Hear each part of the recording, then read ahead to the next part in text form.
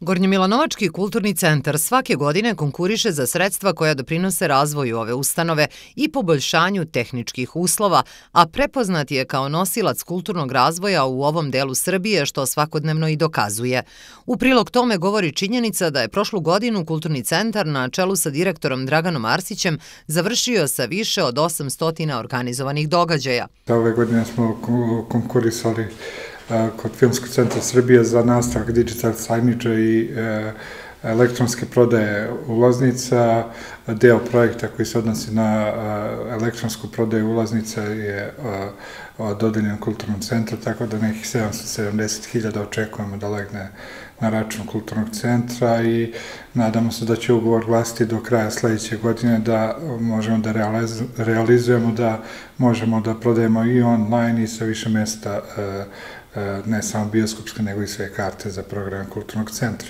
U toku je i e, pregovor sa e, Sky Musicom koji je dobio na tenderu za novo rol platno bioskopsko, koji treba da stigne početkom sledećeg meseca.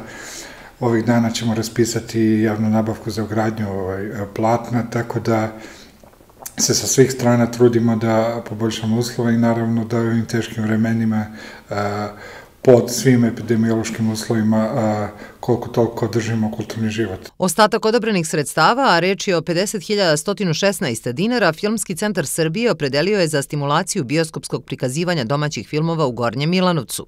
U cilju poboljšanja tehničkih uslova, Kulturni centar je započeo i uređenje pojedinih unutrašnjih delova zgrade Doma kulture.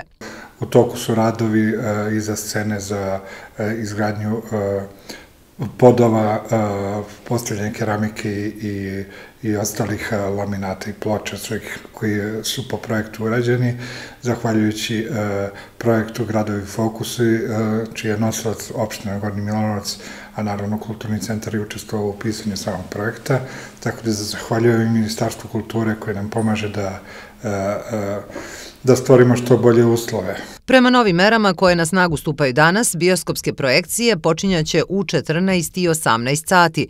Broj posetilaca je ograničen, tako da je uz maske i distancu potpuno bezbedno pogledati film. Baletski koncert u okviru karavana igre, koji organizuje Nacionalna fondacija za igru sa Ajom Jung, biće održan u nedelju 19 sati.